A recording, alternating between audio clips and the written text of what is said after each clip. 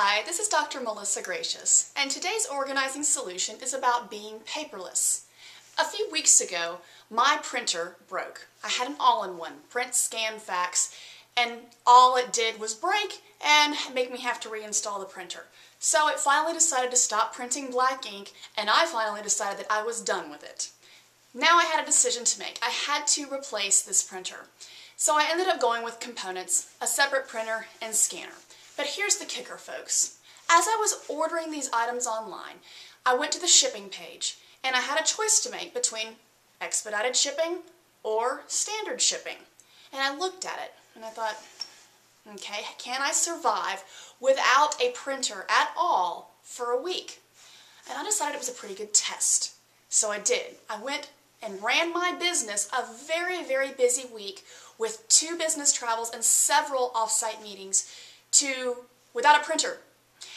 And so I found that it was okay. I brought my laptop everywhere I went. I made PDFs. I sent links. And there was really only one single sheet of paper that needed to be printed the entire week. And honestly, looking back, I probably could have gotten away without doing that as well. So my encouragement to you is to question your need to print. If we don't create the paper in the first place, particularly when it's born in electronic format, then we reduce our reliance on paper overall.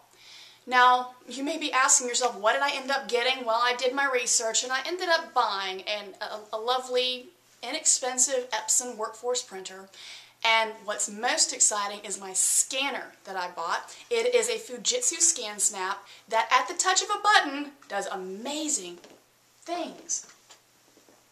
Ooh. Front and back, great quality. I love it. So I highly recommend if you don't have a desktop scanner, buy one as soon as possible, organize your electronic files, and challenge yourself not to print at all. Unplug your printer if you have to.